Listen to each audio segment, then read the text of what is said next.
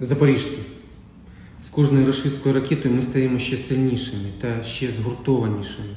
Саме тому, з самого ранку, ми усі стали до роботи.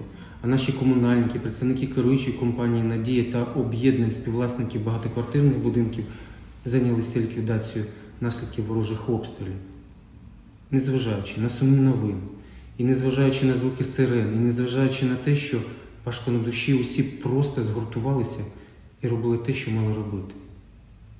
Сьогодні в місті було пошкоджено 23 п'ятиповерхових будинки, вибито більше 200 вікон, ушкоджено 4 покрилі та завдяки злагодженої роботи усіх служб та підтримці гуманітарної місії Проліска, яка допомогла нам із ремонтним матеріалом.